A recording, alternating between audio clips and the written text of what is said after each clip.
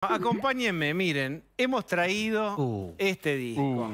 Este disco es un original del año 1983, cumple como la democracia 40 años. Es el primer disco de los Twist, que es La dicha en movimiento. ¿Es el original? Es, por supuesto, es un original. Es de SG Records. No, no insista con el plano corto, créanme a mí, que es Cerú Girán Records en ese momento. Tremendo. Tenían un sello, de hecho, Clicks Modernos, que usa Pablo Clicks Modernos, fue editado con SG Records. eh, bicicleta de Cerú Girán, es un Cha- Charlie García, básicamente. Pero para hablar de esto, de los twists, está. Los García. 40 años. Mira, Charlie. ¿Me puedo parar? ¿Puedo- si me Sí. toma- si me to- ¿Me puedo parar con vos? Sí, por favor. Y, y nos abrazamos Un abra- un abrazo. Qué grande, Pipo. De edad. Qué gusto, qué gusto. Gracias. Tenelo, quizás, SG.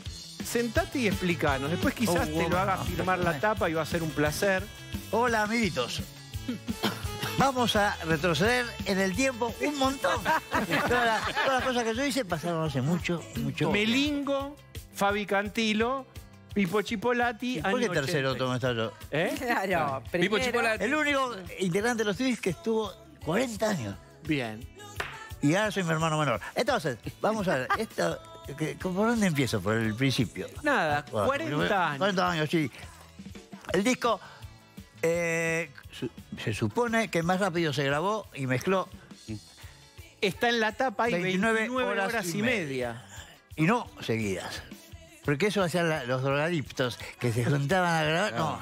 10 horas un viernes, 10 horas un sábado y 9 horas y media el domingo para mezclar. Porque tenía, en realidad, es porque, eh, bueno, sí, la verdad que no fue. Pero lo hicieron Daniel Greenbank rápido. iba a Sí. ser el productor. Entonces, le llevamos un demo a Daniel Greenbank. Eh, eh, no, no me interesa, no va a andar, dijo el hebreo del rock. Ahí estaba Charlie García en las oficinas de Daniel. No, ah, ah, sí, no va a andar, lo produzco yo. Charlie García, mi compadre, además, y amigo, tenía un sobrante de cinta. Creo que de un disco ¿Qué de Girán. sobra- Hoy nadie entiende. Claro. Bueno, sobrante, Sobrante de cinta. Oh, claro, en la época del Pro Tool. Claro. ¿Pero qué existe internet? Averigüen, ignorantes. Es- Es más fácil que antes. Antes había que comprarse el libro para saber que, eh, el diccionario. No, apretás un botón y te dicen todo. Antes, los discos se grababan en una cinta de celuloide. Que venía en un carrete y, y todas esas cosas. Que si alguien se equivocaba, había que cortar la cinta, pegarla con, con cinta para pegar y todo eso. Bueno, eh, en uno de esos carretes que se llamaba Multitrack, multitrack quiere decir, multi quiere decir mucho, track quiere decir pistas en inglés. Sí. Eh, americano y inglés Yo también. británico también. Y en otros países. Bueno, entonces es que rap- me, me voy por las ramas, pero no me Pero, importa. y entonces, muy- entonces sobraba tenía- cinta. Tenía un sobrante de cinta, de un- creo de Cerú Girán. Hay que hacerlo rápido, ese no nos dijo que era así. Le digo, yo lo produzco, listo, bien, me llevo más que vos, Grima, más que ustedes, mucho. Y entramos a grabar. Pero en la misma, en la misma oficina estaban Greenbank y Charlie. Y, En las ustedes- oficinas de, de Daniel y Green. ahí escucharon la cosa y Greenbank dijo no. Yo un día me acuerdo bien, para 40 años. No, Alguien, me, va, alguien me dijo que tengo Alzheimer y no me acuerdo quién fue. Entonces, simultáneamente. Bueno, espérate, eh, le damos un demo, no me acuerdo. Si a Grima no, esto no me gusta, Pero a vos mí sí. no sabías qué iba a pasar. Con- eh, No eso me es- importa. Yo no tengo planes. O sea, disfruto al no tener nada planificado. Cuando te sucede, ah, si vos planificas y no te sale, o si planificas y te sale, bien. Si no planificas y no te sale, no te enteras. Y si no planificas y te sale, ja, ja, ja, ja, ja. Ey, yo tuve un ja, ja, ja. Entramos a grabar, pero fue así. ¿verdad? Tengo que- después hacemos preguntas que le voy a responder más brevemente. Como esta es la primera y estoy muy nervioso de estar en televisión, me perdí ahora. No, ahora sí. Había que. Bueno, grabamos el disco este, y salió y en dos meses 120 mil discos vendidos, doble platino. Ni un mango me dieron a mi hijo. Ay, pero ¿por me, qué? me iba a decir otra cosa. ¿eh? ¿Por qué Pero no hoy en ¿Por la, qué te lo digo yo? ¿Quién es? Violeta. Está entre- en, en un ranking Rolling Stone, está 15 en los mejores discos nacionales.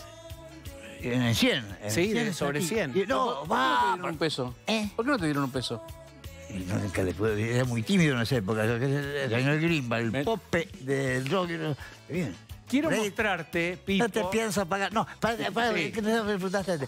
No, eh, hay, hay una- un documento que no lo mandé. de- cosas- donde en el ranking de revista Pelo o Billboard, algo por el estilo, primero estaba Thriller. Segundo, La Dicha en Movimiento. Entiendan esto. Thriller de Michael, Michael Jackson, Jackson. primero en los rankings, segundo. La Dicha en Movimiento. La Dicha en Movimiento. ¿Qué género musical es los twists Ninguno. para vos? Ninguno y todos, claro, eso, eso es verdad.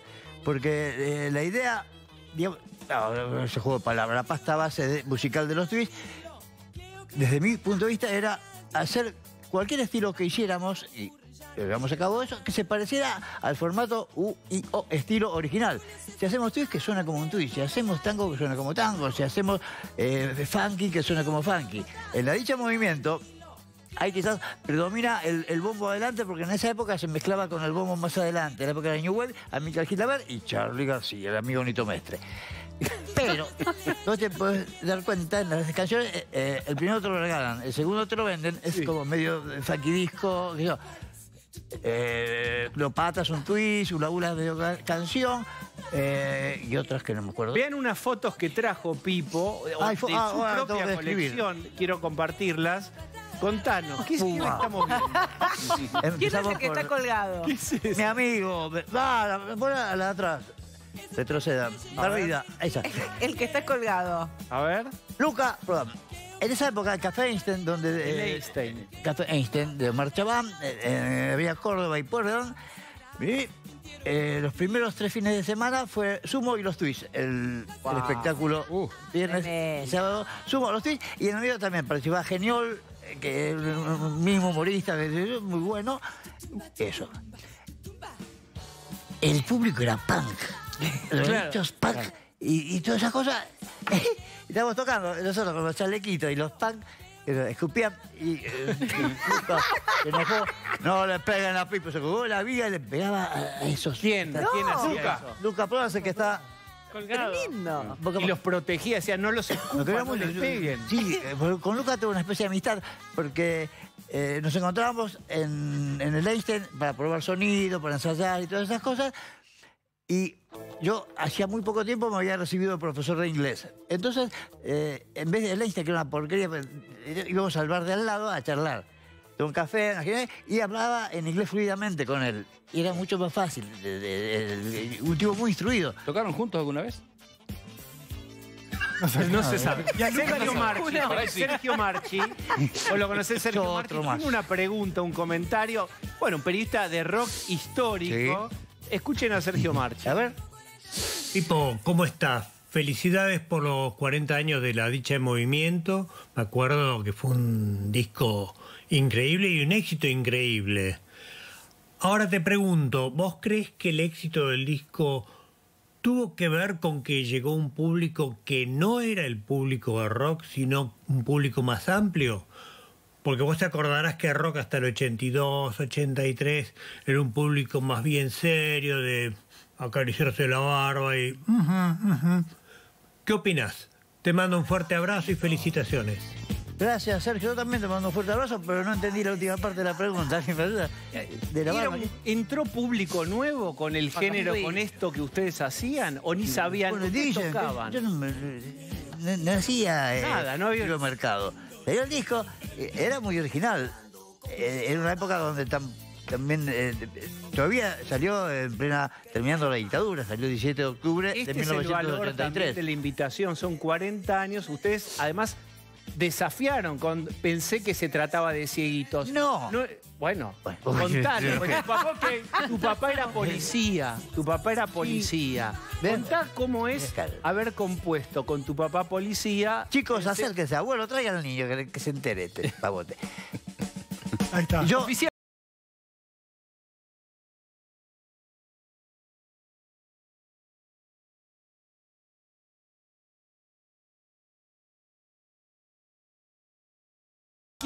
A la oreja. En, en En 82 ningún momento fue, eh, que, eh, uy, la protesta. O siempre me cayó mal la canción de protesta.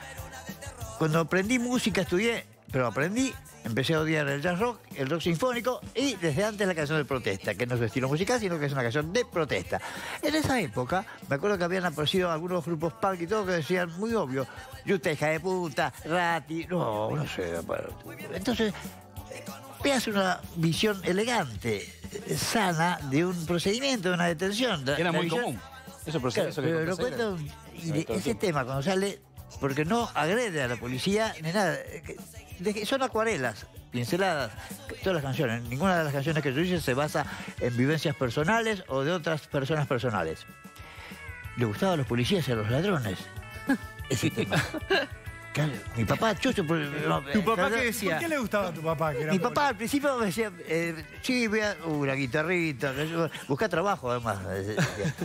Cuando cobré la primera vez a ahí, que oí una guitarra, ah, bueno, igual busca trabajo. Cuando sus compañeros y superiores, si fuera a ti, su hijo hizo la canción para nosotros. No, le dije para mí, pero... Bien, hijo, digo, ahora sí. Bueno, pero me pasó alguna vez que iba eh, por la calle, había un procedimiento, dos delincuentes contra la pared, viví, yo caminando ahí, el patrullero. El Estoy pasando y los ladrones, ¡eh, amigo! Mira, si fuera ti, ¿no?